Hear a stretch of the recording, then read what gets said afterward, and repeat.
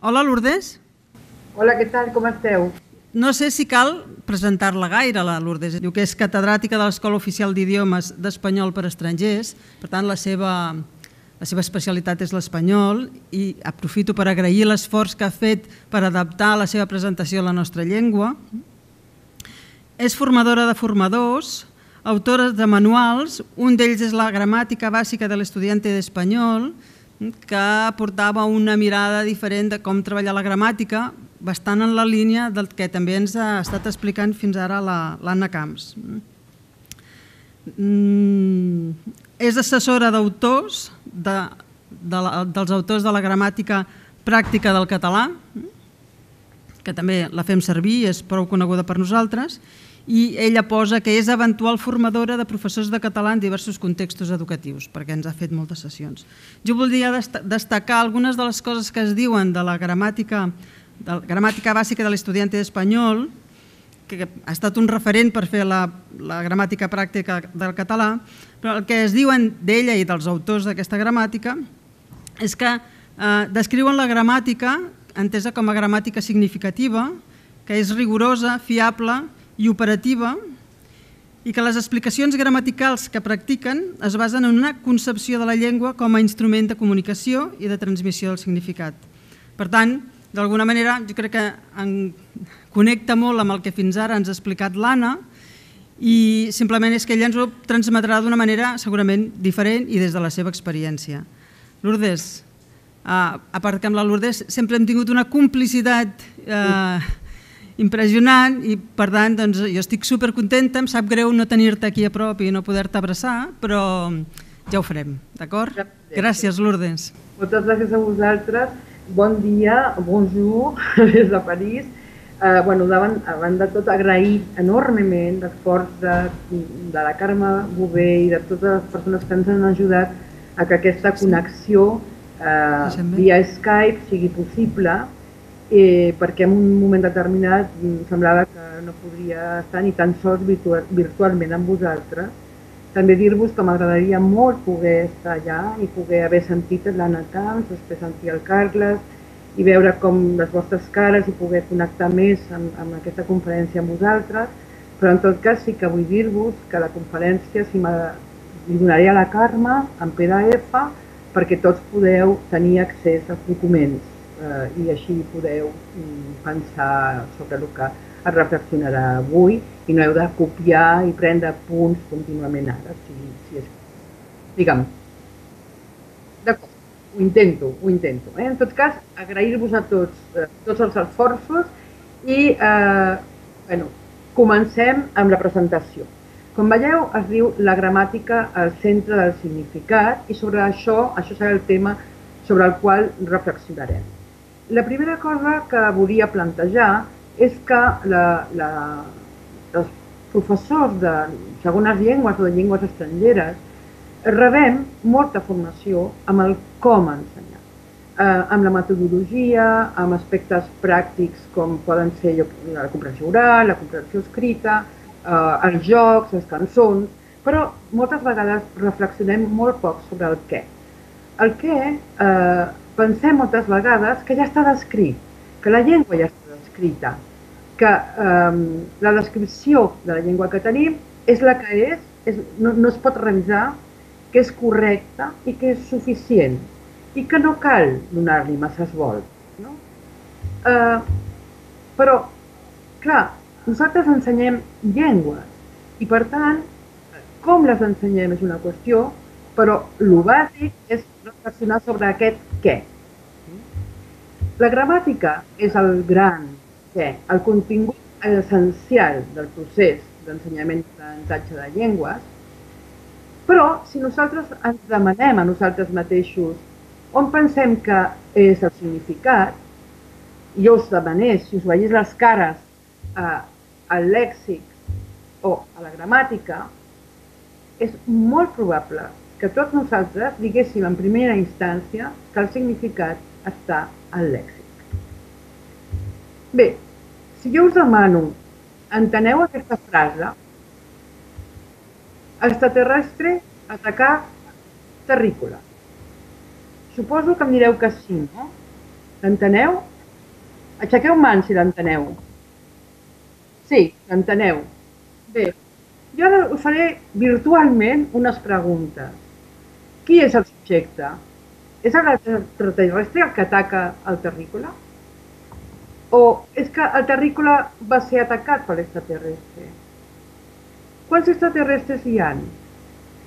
Uh, és ara? És més endavant? És una hipòtesi?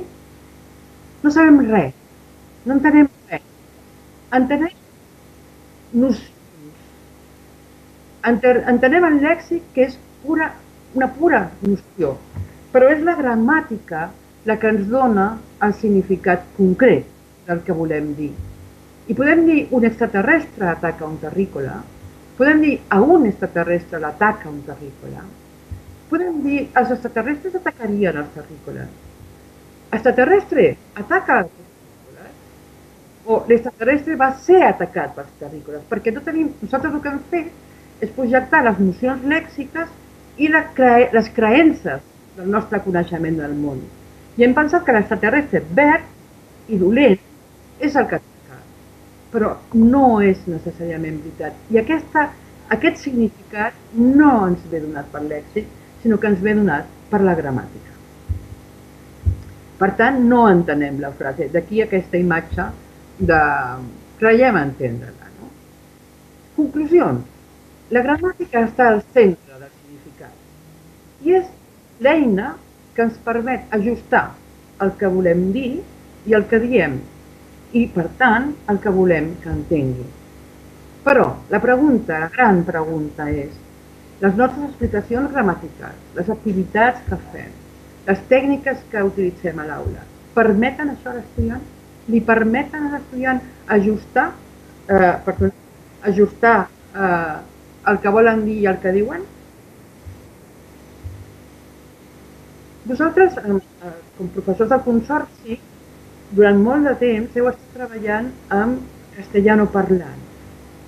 I eh, la vostra realitat, per lo que he parlat amb l'Orma i he vist les vostres xifres, és que aquesta realitat està canviant i els alumnes de parla no espanyola estan augmentant. Aquestes són les xifres del 2013 que són mm, realment molt interessants si pensem que hi ha més de 20.000 estudiants dels 38.879 que són no castellano parlants representen més del 50%. Clar, quan vosaltres teníeu només estudiants eh, de parla espanyola d'abans, eh, pues era, havia una certa transparència que ja no teniu. I a més tampoc teniu una llengua comuna. El que us deia, no treballem en llengües transparents. I ara ja no tenim els estudiants, el cervell dels estudiants, ja no tenen les mateixes nocions que nosaltres. No tenen articles, no tenen subjuntius, no tenen imperfectes, tenen determinants de cap tipus, depèn de les llengües, òbviament. Mm? Però vosaltres ja teniu que, que, que convertir en constructors de nocions gramaticals. No? I quan, quan les llengües són llengües transparents, i això és una cosa que també estem parlant aquí a, a París aquests dies, que estic treballant aquí, quan hi ha transparència, pot haver-hi una certa benevolència amb les explicacions que fem. Si les explicacions són dolentes, però jo tinc una llengua que més o menys funciona igual, puc tolerar, com a alumne, aquestes explicacions. Però si la llengua no és transparent, la benevolència no funciona. Aquesta ha sigut la meva situació docent durant tots aquests anys. Una aula com la que tindreu, tindreu vosaltres, o la, ja teniu, hm? de moltes llengües, de no transparència, de no benevolència, de nocions que s'han de construir. Per tant, haurem de millorar necessàriament el nostre treball gramatical en tots els aspectes, des de l'explicació fins a la correcció, passant pel tipus d'activitats gramaticals. I jo el que vull fer avui és posar al vostre abast la reflexió que amb els meus companys de, de Granada eh, hem fet durant tots aquests anys i també amb els meus companys de l'Escola Oficial d'Idiomes en relació amb això. Hi ha una teoria que és interessant, mm, el que, triat, eh, és molt poquet d'aquesta teoria, però crec que és una, una reflexió que canvia moltes coses a l'aula, són les teories sobre l'adquisició de, de llengües i en concret la teoria del processament de l'input de l'holandès Will van Patten. Eh, el que a nosaltres com professors ens serveix és saber que qualsevol alumne davant d'una L2, una, L, una llengua estrangera, no processa tot de la mateixa manera. Per què no processa tot de la mateixa manera? Perquè hi ha formes que són molt més que d'altres. Si vosaltres penseu el vostre aprenentatge de llengües, mm, veureu que moltes vegades ha coses que no les feu bé. Les preposicions, per exemple. Les preposicions són formes gramaticals tremendament opaques, perquè creixen el significat en funció de les relacions que estableixen. Llavors, és molt fàcil equivocar-se amb les preposicions, o és molt fàcil equivocar-se amb elements morfològics, perquè són els més opacs, els que sembla que transmeteixin, sembla que transmeteixin menys significat. Llavors, Van Patten va observar que quan una llengua, el primer que es processa és el lèxic. Llavors, mentre hi hagi un problema de lèxic, les formes no es perquè els caps dels estudiants estaran concentrats en el significat lèxic. Però això és una reflexió molt important per nosaltres, perquè nosaltres cometem, els, els, eh, dic nosaltres, nosaltres com eh, autors i nosaltres com a professors, cometem un error tremendo, que és utilitzar el lèxic nou per ensenyar les formes gramaticals noves. I segons el que demostra Van Patten, això és absolutament inútil, perquè l'estudiant no estarà veient aquestes formes gramaticals mentre el lèxic no estigui resolt. Per tant, el que recomana és que les noves formes gramaticals s'ensenyin amb lèxic adquirit molt abans. Doncs no tingui cap mena de problema en relació amb les formes. I després Van Patten diu que les marques morfològiques són les més opaques, eh, encara que tenen diferències entre elles. Per exemple, als estudiants d'espanyol els resulta molt més fàcil eh, utilitzar la terminació de l'imperfect ava, llorava, cantava, saltava, que ia. Per què? Perquè ava s'assembla més a una síl·laba significativa. No, ells no en tenen d'entrada aquest significat, però sembla més una síl·laba. Però és que ella es percebeix molt pitjor. Això que diu Van Patten i crec que té molt bones conseqüències per al nostre acte docent. No? Bé, eh, per exemple en català, dones i dones tenen només una diferència d'accent. Quan nosaltres eh, ensenyem una llengua o aprenem una llengua, un accent és zero significatiu. És una taca al paper, no? d'alguna manera. Però si nosaltres ensenyem a l'estudiant que darrere d'aquesta taca al paper ha no un accent, sinó un significat, el fet de donar el fet de parlar d'un col·lectiu femení, eh, seria una manera de fer que l'opacitat sigui men menor d'alguna manera. O, per exemple, penseu en la dificultat que pot tenir qualsevol estudiant en una distinció com escolten, escoltin, que teòricament és una distinció de vocal, però en realitat és una distinció de mons terribles, com pot ser l'indicatiu i el subjuntiu, eh? que realment serveixen per coses molt, molt diferents. Llavors, el que diu el Van Patten, consell que crec que és molt important per tots nosaltres, és que per poder processar l'input s'ha de fer tot el possible perquè les formes resultin significatives. Nosaltres, jo tractaré d'ensenyar-vos com es pot fer tot. Un dels mecanismes que, del, dels quals parla Van Patten és la necessitat de realçar, diu ell, dels reals de l'input, eh, per poder-lo observar, manipular i aconseguir l'output. Nosaltres presentem moltes vegades les formes noves sense cap mena de marca. Els estudiants no poden fer aquesta observació, es perden. Llavors el que diu ell és fem un real d'input i mantenim aquest real sistemàticament fins que l'estudiant ja ha aquesta forma i ja podem treballar una altra. Penseu que vosaltres voleu estudiar xinès. Això m'ho ha facilitat una companya meva de l'Escola Oficial d'Idiomes de Xinès que estaven discutint justament aquest tema i des de que el fa ha millorat enormement el treball dels estudiants. I us, us poso aquest exemple. Eh, esteu a una classe de xinès de A2 i voleu aprendre aquesta, aquest ideograma que serveix per, és com una espècie de gerundi, per parlar de com es desenvolupa una acció. I us posen aquest input. I vosaltres, jo no el puc llegir, eh? Perdó. Vosaltres veieu aquest input, on està aquesta forma? No la veieu. Us heu de fixar molt, molt, molt, però en realitat està perduda enmig de totes les altres. No costa res presentar-la així.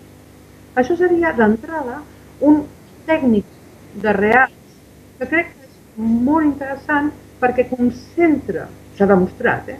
concentra l'atenció de l'estudiant i si aquesta marca la veuen tota l'estona fins que estan familiaritzats amb ella, realitzada, realitzada de la mateixa manera, pot ser molt útil per ells. Parlem ara d'això. Alicia, eh, el País de les Meravelles, i la reina de cor, la dolentíssima reina de cor, que li demana a l'Alicia, saps sumar? I l'Alicia diu, clar, sí.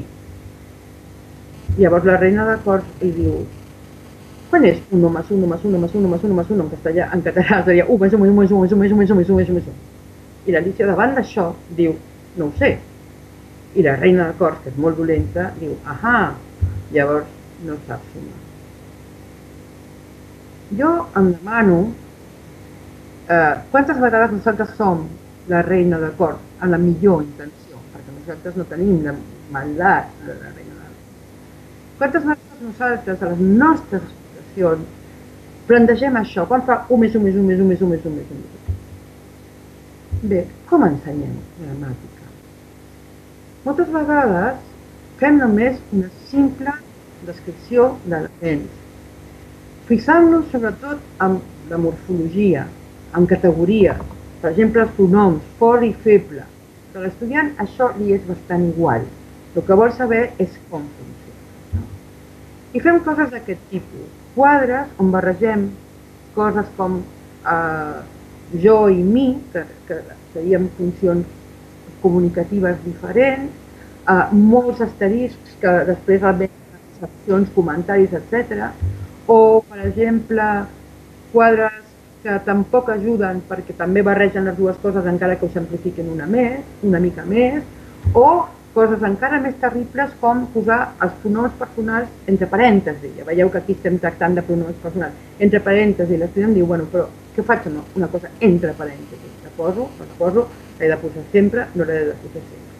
I fixeu-vos que aquí, per exemple, com estem parlant de morfologia verbal, és molt fàcil que l'estudiant que no confiarà amb el significat d'aquesta morfologia tendeixi a utilitzar permanentment els pronoms jo, tu, ell, creant interaccions terriblement eh, diferents a les, a les reals i a més irritants, perquè una persona que sempre utilitza jo crea una irritació al final en, en la persona que l'escolta. No? Bé, fem descripcions per tant insuficients i també treballem molt amb llistes. Les llistes eh, fan una cosa que és eh, absolutament contrària a les possibilitats d'adquirir la forma. Perquè les llistes el que fan és destruir el valor unívoc que té les formes gramaticals i atomitzar aquest valor amb, amb coses que són moltes vegades completament arbitràries. Si agaféssim les llistes de professors diferents, de gramàtics diferents, veurem que moltes vegades no coincideixen en absolut, que les llistes moltes vegades es basen en efectes i no es basen en el valor prototípic. Aquí teniu una llista de la preposició a davant de complement directe i s'afirma que habitualment no es porta preposició. Però després comença a haver un gran seguit d'excepcions. I aquí no s'està buscant la regla general. Segurament la regla general és quan el complement directe està darrere del verb, no porta preposició perquè tothom entén que és un complement directe. En el moment que es va jugar d'aquesta posició, té preposició a. Seria tan fàcil com això. Llavors, eh, hi ha una frase que a mi m'agrada molt, que és d'un senyor que no sé pronunciar, per tant no el pronuncio, que diu, és un psicolingüista, que diu, si vols oblidar qualsevol cosa, posa a una llista. I si nosaltres analitzem com estudiem llengües, com aprenem llengües, jo no sé si vosaltres utilitzeu molt les llistes. Sortim de la classe dient, bueno, aquesta vegada ho faré, però en general, eh, a la tercera parada del metro estem fent alguna cosa més interessant que llegir la llista. Eh? És la meva experiència. Bé, a vegades, de vegades també eh, ensenyem gramàtica amb una espècie de puzzle que les peces encaixen, del tipus, no diem pròtesi i apòtlosi, no ho diem, eh? però està darrere de la nostra manera de presentar-lo. Diem sí, en present indicatiu, pot combinar en present i si som molt, molt, molt, diguem, moderns, direm també en futur. Al revés, futur, i si som molt moderns, direm present.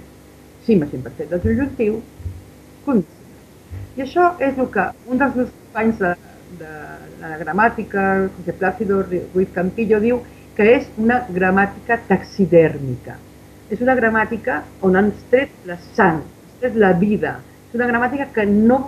És una descripció morta, de llengua morta. Perquè és veritat, després nosaltres diem això, no? Amb els manuals, etc. És veritat, però això no funciona així. Jo us puc dir, si vosaltres trobeu un problema en aquesta presentació, si vosaltres trobeu, m'ho diríeu, o si trobéssiu alguna presentació, algun problema a la presentació, digueu-m'ho. Realment a la vida estem contrariant permanentment aquestes regles. Per què? Perquè hauríem d'analitzar això d'una manera diferent. Analitzar no des de la forma, sinó des del significat.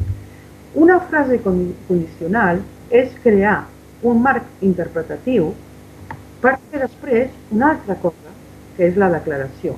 Nosaltres el que fem quan ensenyem eh, les condicionals és creem com si això fos una única cosa, i són dues. Llavors, un marc interpretatiu que pot ser probable o improbable. Present indicatiu, imperfecte subjuntiu, també està el perfecte de subjuntiu, però per no complicar les coses només he posat aquestes dues. I després una declaració. I aquesta declaració pot ser, pot ser amb moltes coses i altres que no són aquí, com l'imperatiu, etc. Això seria una interpretació des del significat. Canvien molt les coses. No? Seria una, com mireu, mireu aquí això, jo sempre dic que ho mireu perquè m'ha costat molt de fer-lo, és aquesta gramàtica viva, no? d'ullets que es belluguen, que d'alguna manera representa la realitat de la llengua. A més a més, si nosaltres pensem com ensenyem gramàtica, sempre veiem el professor, el professor parlant, explicant, el professor al centre. D'aquí renunciem moltes vegades a tota la, eh, diguem, ideologia de, de l'enfoc comunicatiu. Respectem les estratègies dels estudiants, respectem la seva autonomia, deixem que interactuï, però de sobte arriba el moment gramàtica i nosaltres ens convertim en aquest senyor, el nostre moment, no? To be or not to be. Som centre de tota la resposta. És igual si utilitzem la pissarra la utilitzem i sempre amb aquests actes, sempre, gairebé sempre, evidentment hi ha excepcions, els estudiants estan en una actitud passiva, estan escoltant. Inclús moltes vegades la gramàtica la donem després. Primer nosaltres parlem del, del tema gramatical i després donem la fotocòpia perquè els estudiants la vegin, perquè volem que ens escoltin. No? I quan fem això, d'alguna manera estem donant l'esquena a l'estudiant. No estem considerant que l'estudiant té eh, capacitat per parlant una o moltes més llengües. Té estratègies cognitives i van dintre les estratègies cognitives té estratègies gramaticals. Llavors, d'alguna manera sempre considerem que la gramàtica és cosa nostra, no la construïm amb ell. Eh, I fem com una, una gramàtica pret a porter, sempre igual per tots, i eh, no ens basem, amb, com he dit, amb els seus sabers, competències i habilitats. Per tant, eh, el que hauríem d'anar és a, una, a passar de l'explicació a la construcció gramatical, a, a que l'estudiant estigui sempre actiu i sempre present a, la, a les nostres eh, intervencions gramàtiques. Les regles que hem vist abans són regles que s'han formulat després de produir la llengua. Llengües que s'han analitzat per lingüistes eh, i després s'han anat simplificant o a vegades s'han anat didactitzant no, amb poca, poca, a vegades poca veracitat, però nosaltres quan parlem no estem després, estem abans de l'enunciació. I quan volem aprendre una llengua, volem regles que ens permetin parlar, parlar nosaltres, construir el missatge, no? generar el significat. Llavors també es tracta de mm, proposar regles operatives que serveixin a l'estudiant d'una manera conscient, intencional i significativa, que ell digui, sí, a classe m'han dit que amb això es fa això, i ara us posaré gent que puguin fer. I crear a l'aula un procés de co-construcció, com us he dit, us he dit, i implica un canvi de moltes coses, inclòs un canvi de creences, com per exemple com tractar l'error. Bé, Van Patten, això ja s'ho passaré, diu, per favor, és una espècie de mini decàleg, ensenya només una forma gramatical cada vegada, és a dir, no perquè ensenyis el verb agradar, comencis a parlar de tots els verbs preposicionals, ensenya la forma de manera que l'estudiant entengui que transporta sempre un significat, que la forma gramatical sigui la responsable de la comprensió de l'input, que els estudiants sempre estiguin fent una cosa amb l'input, estiguin demostrant que aquest nou input formal gramatical l'entenen, que les activitats estiguin contextualitzades, estiguin clares, l'input sigui versemblant, és a dir, realment comunicatiu, i que la seqüència sigui primer la frase i després el discurs. La segona teoria és la teoria del Michael Long, que parla d'atenció a la forma, el focus on form. I eh, el que diu molt breument és no hi ha cap contradicció entre ensenyar a comunicar i ensenyar gramàtica. El fet d'ensenyar a comunicar suposa ensenyar bé, bé gramàtica i, el, i la gramàtica significa millorar la comunicació. Traba, per, I això ho diu perquè els professors d'anglès fonamentalment, però també en espanyol passa, han fet una deformació de la idea de comunicar. I llavors, ara comuniquem, llavors aquí no hi ha gramàtica, i després fem gramàtica, aquí no hi ha comunicació. Llavors, no, això no funciona així. La comunicació eh, ha de ser permanent l'acte d'intentar que comuniquin, no comunicar, però intentar que comuniquin, i eh, treballar amb formes és una instrucció legítima, perquè els estudiants han pagat per això, han pagat perquè nosaltres millorem la seva forma, la, seu, eh, la seva gramàtica, però s'ha de fer bé.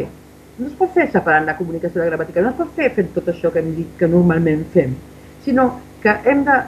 Eh, aquesta intrusió s'ha de fer de manera eh, comunicativa adaptada a la intenció i a l'objectiu. És a dir, no ens hem d'anar de la intenció. Hi ha dades de qualitat. I dades de qualitat, això crec que és molt important, és vinculades al significat, rigoroses, és a dir, no inventades, però assequibles, facilitades, i que no falsegin la realitat de la llengua. De vegades nosaltres fem com trucs, de màgia.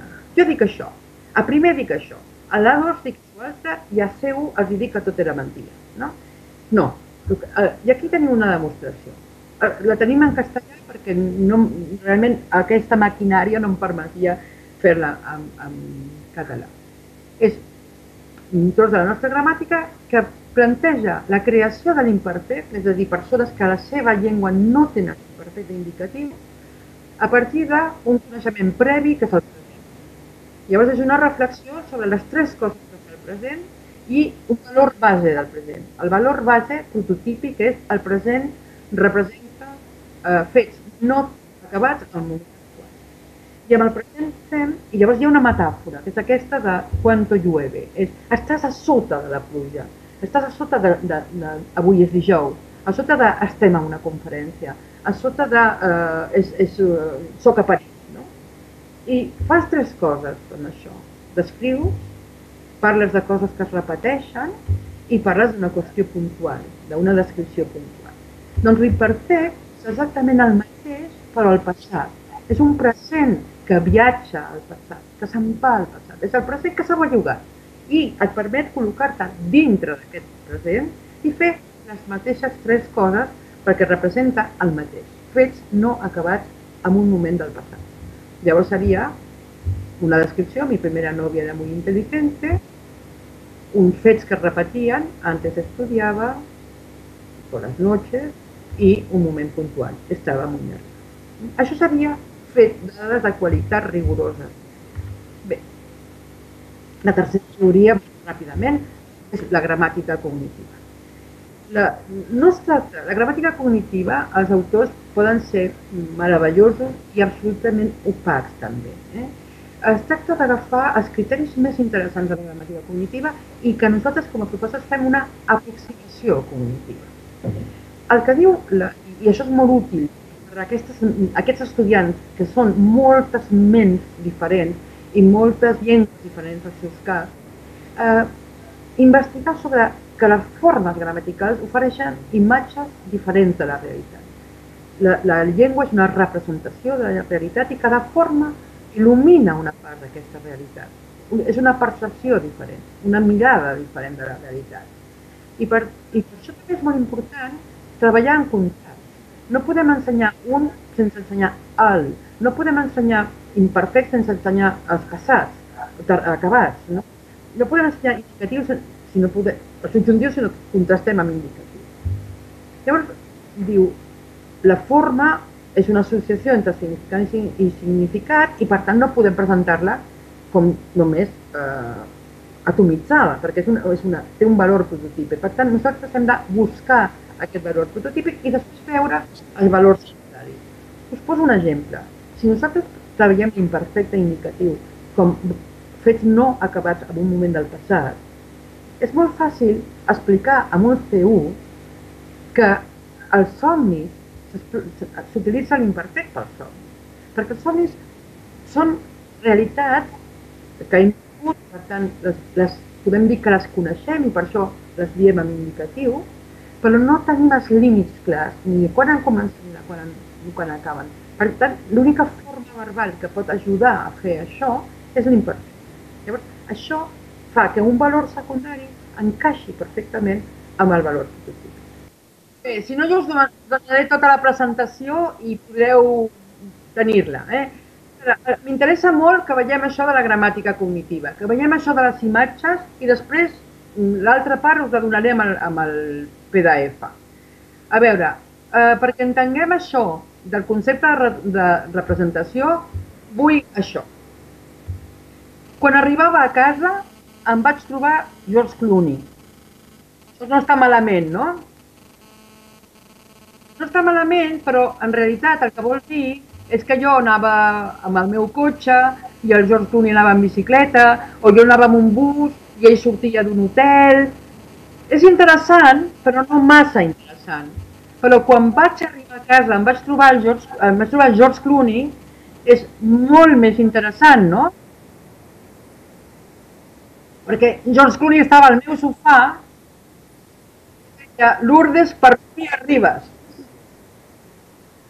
Bé, no vull explicar com va acabar aquesta cosa, però sí vull que mireu les frases i veieu que entre A i B només ha canviat el temps verbal, però ha canviat la pel·lícula. Realment hem aconseguit, nosaltres quan parlem, estem tota l'estona explicant pel·lícules nostres no? Bé, això seria una manera de representar amb imatges l'imperfect quan quan, quan anava a casa, anava vol dir que el fet d'anar no s'havia acabat en aquell moment i per tant el vaig trobar pel camí. I quan vaig arribar a casa, vaig arribar, el fet d'arribar s'havia acabat, per tant estava dins de casa. Bé, eh, la gramàtica cognitiva parla de perspectives. Un poco, poco, per exemple, seria una qüestió de botella medio llena, botella medio vacía, no? Eh, la, la llengua fa això, ai o no ai, uh, dins o fora, acabat o no acabat. I us he posat, per exemple, una cosa d'aquest tipus. Els professors que ja heu tingut estudiants que no són eh, castellanoparlantes, eh, trobareu coses del tipus la gent van estar molt contents i animats i nosaltres cridem i cridem gent és singular, gent és singular, gent és singular. Bé, això no arregla res, perquè els estudiants segueixen dient anys i anys, fins als T2, la gent van anar. Bé, Però si nosaltres pensem com veu el català la paraula gent, no la veu així, que és com la veuen els anglesos, per exemple, que la veuen com un col·lectiu de persones que es poden comptar, sinó que nosaltres la veiem així, com una massa en la qual veiem una. I llavors diem eh, una unitat única. La gent, la família, la meva família és. Però, quan el substantiu desapareix, quan ja no està present, llavors ja ho veiem així. La meva família és molt divertida. Quan venen a Nadal a casa, per Nadal a casa, com vegen, com criden, com parlen. Bé, o una cosa que costa moltíssim, quan diem els catalans, els espanyols, els, els professors, ho veuen com una tercera persona del plural, però nosaltres podem dir els catalans fem la migdiada, ens col·loquem dintre, o els catalans fan la migdiada perquè ens col·loquem fora. Aquestes, eh, aquests conceptes, com aquí, allà, fora, dins, declarar, no declarar, són realment operatius.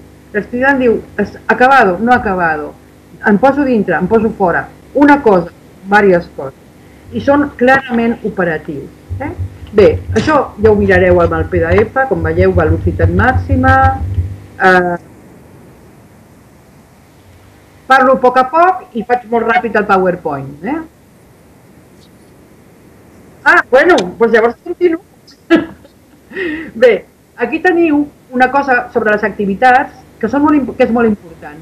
Si les nostres explicacions són deficients, les activitats també ho són, perquè les, les ajustem. Llavors, moltes vegades treballem en tècniques limitades, mecàniques, i el significat no és el centre de l'activitat. Aquí, eh, aquest diàleg hola, qui ets?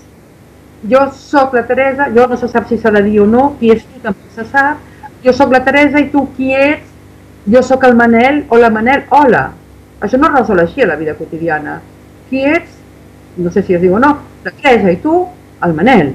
Hola, ja està. Llavors, eh, eh, no estem reflexionant suficientment amb les activitats. Aquestes, de vegades fem activitats que semblen molt més interessants, però els estudiants poden fer això i, i passar completament. Llavors, el que es recomana és activitats que tinguin el significat com a centre. Fixeu-vos en això. Si jo dic, fes grans nedadors, quan ens vam tornar a veure, sabia, quan es van tornar a veure, s'havien casat o es van casar. Bueno, si pensem una mica, l'estudiant no pot triar la forma, perquè les dues poden funcionar. Depèn del que volem dir. L'estudiant només podrà triar una forma si fem una activitat que el significat estigui present i li diem tria. Quan es van tornar a veure s'havien casat, i així acaba la història, un final trist. Quan es van tornar a veure es van casar i així acaba la història, un final feliç. Aquí l'estudiant està reflexionant sobre si el fet de casar-se està abans o no, de trobar-se, i poden prendre decisions cognitives, etc. Eh? Llavors, recomanacions per a les activitats. Eh, per a facilitar l'atenció del recurs gramatical, quan més coneguts siguin els ítems lèxics, més probabilitats d'atendre eficaçment a un element gramatical i només la informació necessària, no massa redundància, però la informació necessària per poder processar significativament l'element enfocat. Això que acabeu de veure és la informació necessària per poder fer l'operació cognitiva. Al PDF trobareu un, uns models d'exercicis. I la tercera recomanació és que la resolució de l'exercici depengui de la forma. Per exemple, un exercici d'aquest tipus, on l'estudiant pren decisions, com heu vist abans amb, el, amb aquell petit eh, exemple, sobre el valor de la forma. Però això no vol dir que les activitats gramaticals no siguin divertides, o no siguin jocs, o no siguin eh, activitats on es pugui parlar molt. Per exemple, això és una activitat que serveix per establir la distinció indicatiu-subjuntiu amb un B2, quan comencen a establir la distinció, i que són uns jocs de cartes on els estudiants tenen el que han de fer. Amb aquest declara, amb això de parlar de desitjos i de probabilitat, amb això valora i amb això nega coses. I llavors tenen que discutir sobre un curt, una pel·lícula que els hi posem i que anem parant i fent discussions i llavors eh, els grups fan aquest tipus d'interacció. A mi me parece que la gente se comparta. Quan treu la, la carta, els altres veuen, vol declarar, i llavors escolten, a veure si diu un indicatiu o no. I van parlant, i van construint significats, i es van valorant, no? I autorregulant. Llavors van construir, tinc uns vídeos meravellosos d'aquesta activitat, i això és una activitat que en realitat és un joc de gramàtica que construeix discurs.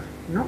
I un altre exemple d'activitat és un joc sobre, per exemple, ja que hem parlat de la preposició a la complement directa, una subhasta d'as. Es posa una sèrie d'as i tenen que apostar. Escolta la teva sogra. Aquesta penses que està bé o que no està bé? Vinga, quants diners dones tu, quants diners dones amb equips? I llavors al final diem, sí, però està bé, però està bé, 200, 200. I al final discuteixen si està bé, si no està bé i per què. Llavors guanyen, perden, etc es pot jugar. Demà tindreu uh, una conferència de Pujolar de, de la ludificació, la gramàtica, la, gramàtica, la ludificació també serveix per la gramàtica. I per últim, marxo, quasi, hem de discutir, hem de canviar els termes correcte o incorrecte per eh, la, la idea de seguretat que té l'estudiant quan parla. Diu el que vol dir. Uh, nosaltres no som un gurú, que sempre entenem el que vol dir l'estudiant, eh, ni, ni som una autoritat que, que té que sancionar el que diuen. Eh? Eh, de vegades hem d'escoltar, hem d'escoltar sempre, perquè de vegades potser el que diuen s'entén amb dificultat, però s'entén, però és molt important, en lloc de dir-li el que vol dir, ajudar-lo a que faci ell l'ajust. O potser és vàlid el que diu, però no és el que volia dir. Llavors també l'hem d'ajudar a, a que sàpiga el que volia dir, a que ajusti el que volia dir, o és un fracàs comunicatiu, en aquest cas, millor que li donem ajuda. No? I també és molt interessant que quan corregim no ens allunyem del significat, per tant, i que en lloc, quan diu una cosa que significa una altra, jugar a, a entendre el que volen dir realment, perquè és el que passarà al carrer, és el que s'hi passarà. Un exemple. Exemple real. Hi ha una mosca en el meu cafè amb llet. Pot canviar-me-la, si us plau? Llavors el professor diu canviar mal, canviar mal, i l'estudiant diu canviar mal, però no entén res. Nosaltres seríem com aquest senyor que diu ara mateix li busco una de millor. I l'estudiant diu què? Sí, tu m'has dit que vols una mosca més gran?